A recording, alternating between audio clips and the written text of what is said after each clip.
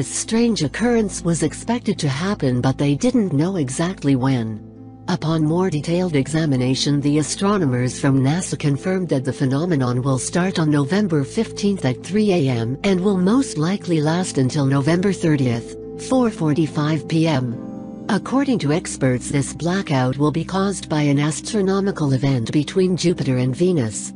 There was even a detailed 1,000 pages document written by Charles Bolden, head of NASA explaining the strange event to officials at the White House.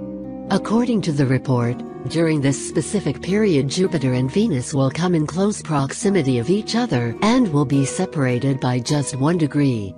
Venus will move to the southwest of Jupiter and as a result it will shine 10 times brighter than Jupiter. Venus' bright light will heat up the gases in Jupiter causing a reaction which will release an absurdly high amount of hydrogen into the space. This reaction will come in contact with our Sun at 2.50 am on November 15. Once the hydrogen reaches the Sun, a massive explosion is bound to occur on the surface of the Sun, increasing the temperature to more than 9,000 degrees. The whole process will generate so much heat that the Sun will change its color into a bluish shade.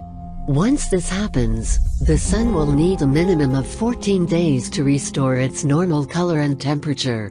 As a result of this strange phenomenon, the sun's light will be seen much dimmer from the Earth and hence the 15-day blackout NASA is talking about. We do not expect any major effects from the blackout event. The only effect this event will have on Earth is an increase of 6-8 degrees in temperature. The polar cap will be mostly affected by this. No one should worry much. This event would be similar to what Alaskans experience in the winter, Bolden said. dim. It has very, very few stars.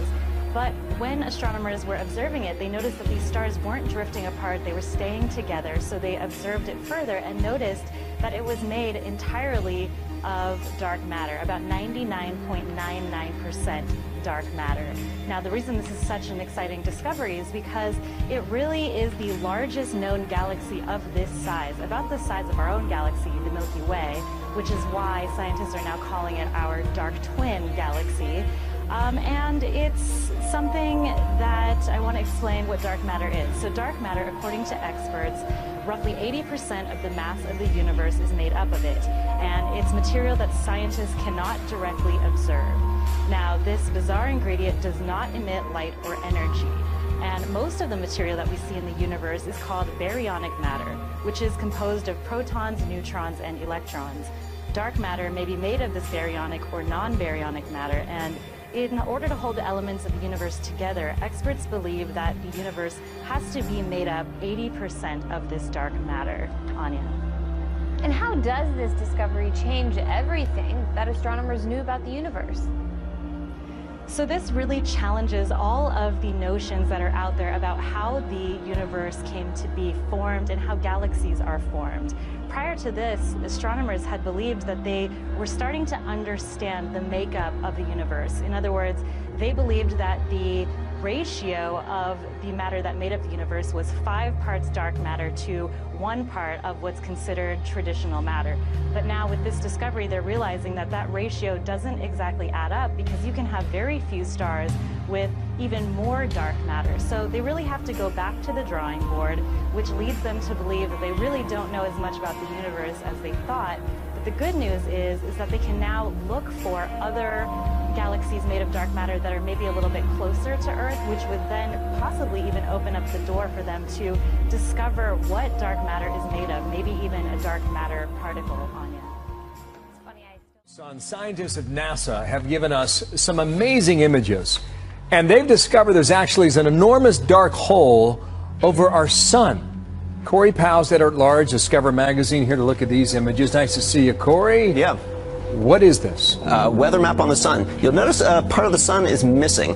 So this is this is a picture of the sun in, in ultraviolet rays. What you're seeing is this is three and a half million degree plasma erupting from the surface of the sun. This part that's missing, the reason it's dark, is that whole chunk of the sun basically ripped off, blew out, and is coming our way at about two million miles an hour. Our way. Our way.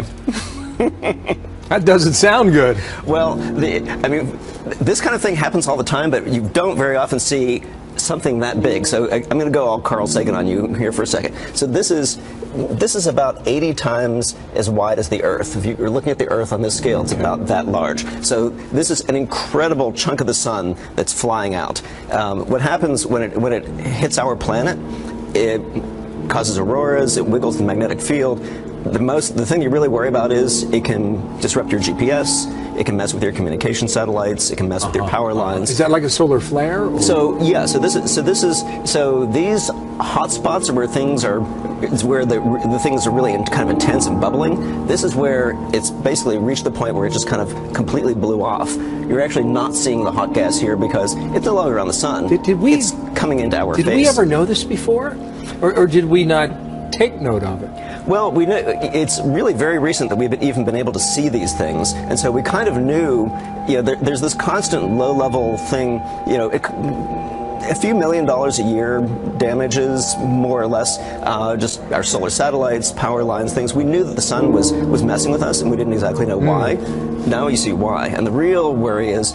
This is actually, a, believe it or not, this is a small one. This is a minor Wow. one. Um, Can, can you tell us what this means then? So what, what this means is this is what the sun does all the time, and we don't really know why it does it. Um, there's, a, there's an 11 year cycle of solar activity, and right now we're going into a time of peak activity. And that's when all those things I was talking about before, you know, we, we really need to watch for your power lines, your satellites, for all that. But you Um, just said something there. You said it happens all the time. If it happens all the time, is there a real risk to us? Or are we just noticing now? Well, so the, so there so there's there's two parts. I mean, there's there's the stuff like this. Like I said, this is actually not even a particularly bad one. So this is what happens all the time that we weren't really noticing that now we're starting to understand and forecast. But they're also there are much more intense ones. Um, there was a giant solar flare in 1962, right before we really had a whole lot of satellites. An even bigger one in 1859.